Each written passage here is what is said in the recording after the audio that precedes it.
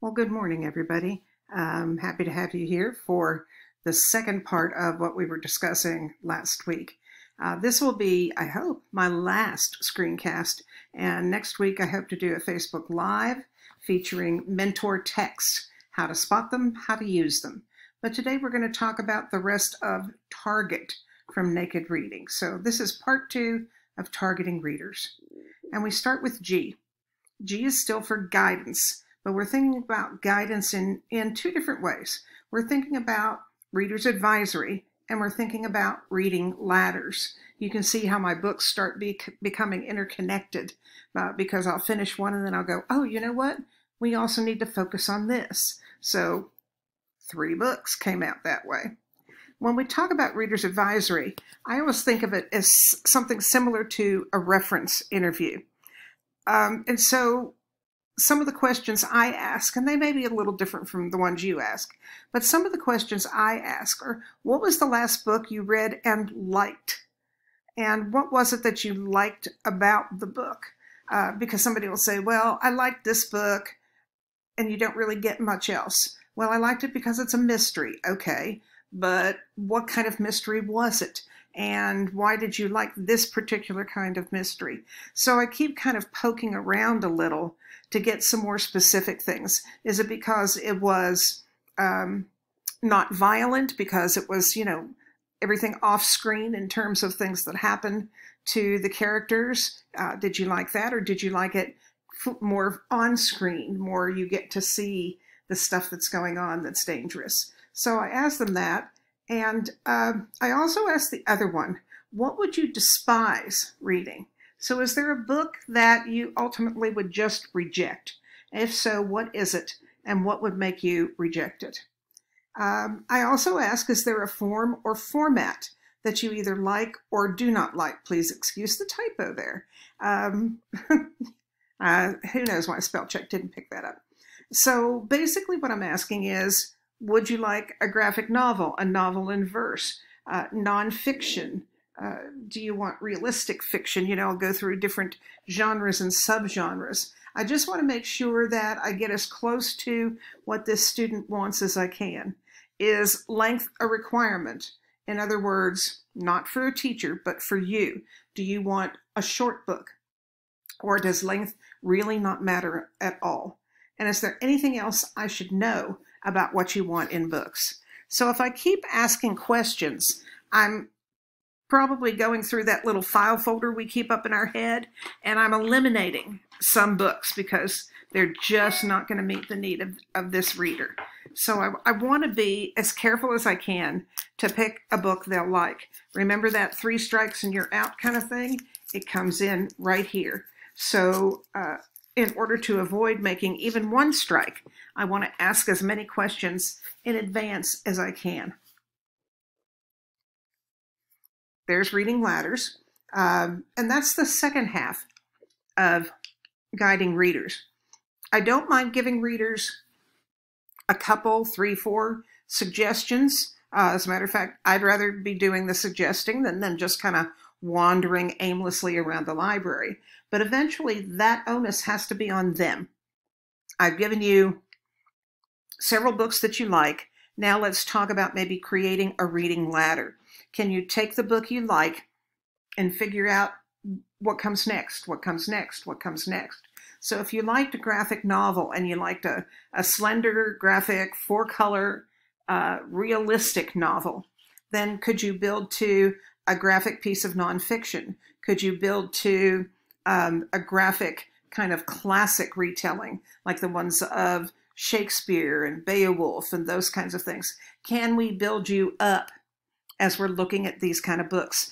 The idea is not to make the books harder, uh, but eventually to make them a little bit more complex, maybe a little bit more rewarding for them. I don't ever want to make this hard. And if you look even at the cover, I think that is suggested. We've got ladder after ladder after ladder to help them climb to the next book, the next book, the next book. I don't ever want to keep pushing and pushing and pushing until they kind of fall off and uh, fall away from me. So guidance in includes both. It includes, let me go ahead and ask you the kind of things you might want in a book, but let me, after that, show you how to create kind of a reading ladder, how to find the next book you're going to read and the next book. Granted, if you have problems in this kind of second stage, come back. Uh, I'll be happy to kind of help you get this next reading ladder underway. So uh, you can see lots of different kinds of ladders. We've got a short ladder right here. Uh, it only has basically three steps on it. So we're building a really short ladder. And you can see that, in, in my mind at least, a reading ladder is a mix of thematic units with horizontal or vertical alignment. So we're looking at the ladder that goes up. We're looking at a ladder that kind of builds a piece of scaffolding. We're looking at a ladder that goes way up. So when you're making those first ladders, that's kind of up to you, whether you want to have that horizontal alignment whether you want to do a very short vertical alignment or whether you want to go for broke and go for it all. Up to you. So, what we know, and the reason that we're talking about this, avid readers make connections between and among text. So, uh, when I'm reading, when you're reading probably, as you're reading, you're going, oh, you know, this reminds me of.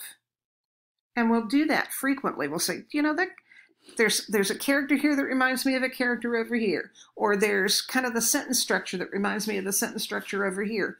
We make connections. It helps us then form our own reading ladders do our own kind of guidance uh, if we know that we're looking for those kind of things. When a student comes to us and says i want another book just like this it means that they're looking for a book that's going to help them make connections. So ask well, what does this mean? You know, do you want another book in this form, format? See, we go back to that reading interview kind of thing. You can demonstrate and then have kids create their own reading ladders. So often when I read, if the book belongs to me, I'll make notes in the pages. But if uh, the book doesn't belong to me or I want to let it float on, I'll use some post-it notes and I'll make little um, notes for myself that say, this reminds me of Bridge to Terabithia. I wonder if there's another book like that that can go on my ladder. Um, and if so, what kind of things must it meet? What kind of criteria am I looking for? E. E used to be for enthusiasm, and I certainly think that we need to be enthusiastic about books. Don't get me wrong. A child will be able to understand and be able to, to see and feel if we're suggesting a book that either we haven't read or we haven't liked very much. So enthusiasm is still important, but I think much more important is to find those books that develop empathy. Empathy is really stronger than sympathy at this point. Um, while I'm creating these PowerPoints and doing these discussions, we're in quarantine, um, although it's kind of loosening up a little. But we've been in quarantine for about a month and a month and a half, I guess. And there are books that will help develop that empathy of being stuck somewhere, of being um, unable to do certain things, of being forced to take on new challenges uh, even though we're not ready for them. So what we're looking for are books that will help our readers bond with the protagonist, see the point of view of others as well. Uh, and that's all part of a morality element. Uh, I'm not doing it consciously. This is not, you know, pushing religion or anything else. This is simply saying, look, here's a person who's trapped in some way, like you feel trapped. Let's see what this person does to help kind of dig his or her way out. What we're trying to do is create that empathetic bond and then give students other kinds of things that they might do when they find themselves in a situation that's not very good. Uh, I'll also say that empathetic people, empathetic teens, empathetic adults, uh, tend to treat others with much more respect tend not to do things that are rude because they understand that this is a person too. It could very well have been me. So if I treat this person nicely, hopefully they'll turn around and, and pay it forward, if you will. So I'm looking for books that help develop empathy. And T, the last T used to be tween and teen appeal. And again, certainly important, but I think nothing is as important as time, time to read. You know the old saying, so many books, so little time. And I feel that way sometimes. I look I look around the room where I'm sitting and there are literally hundreds of books, um, including a big pile on the floor that I intend to get to at some point. And I have more time because we're not leaving the house, but I still need more time. And one of the things I need to do is set aside time to read by making it a priority and a routine. Uh, one of the ways I do that, by the way, is um, this quarantine period, we formed a book club. And it's a bunch of um, fellow reading teachers and uh, people who do PD. We've got a couple librarians. And we meet usually once a week and talk about a book that we've read. We all agree on then the next book to read. And next time we, again, talk about that. Just knowing that in a week, I need to participate in a conference about a book makes that a priority. Makes me take some time every day to either read or listen to the book that we're going to talk about. Time spent reading, you notice I'm going backwards here for a minute. Time spent reading is instructional. I used to have um, administrators who would come into the room when kids were doing silent reading and say, I'll come back when you're teaching. And that, you know, that bothered me a lot. I had to talk to them a little bit and say, you know, this, this is instructional time. As kids are reading, excuse me, as kids are reading, they're pulling up vocabulary, they're using context clues, they're basically using utilizing all the things that we have talked about in our reading classes. So it is instructional time. It's not just curl up with a book on the floor, although that's part of it too. It's, it's kind of fun. So it is instructive in some way you need to share this importance of time with your colleagues, first of all. Uh, when I first started doing, excuse me, when I first started uh, doing after um, recess reading, little swig of water might help that. Um, not been talking much, so when I do, it irritates me. Anyhow, when I first started doing this, uh, I was teaching in an open concept school. And I, I kind of warned my colleagues on either side. I said, when we come back from recess, we're going to take the first 15 minutes of class and just read. So, you know, my students would come in hot and sweaty, flop down on the floor, find a pillow, find a, a, a beanbag chair, whatever, um, and start reading because they knew that if they didn't do that, if they didn't adhere to the rules, then we weren't going to have silent reading time. Well, it wasn't long before students who were in the classrooms on either side, remember no walls, would look and say, well, how come her class gets to kind of lie down and sleep after recess? Because that's pretty much what they saw. And their teacher said, well, you want to do it? It's, it's reading time. I can do that too. We all have the same schedule. And so their kids would do that as well. So I started by getting one colleague and then another and then another. And eventually that went to the administration, who asked basically the same kind of comment. Why are your kids just reading? Just, you know, reading. Why aren't you doing instructional kinds of things?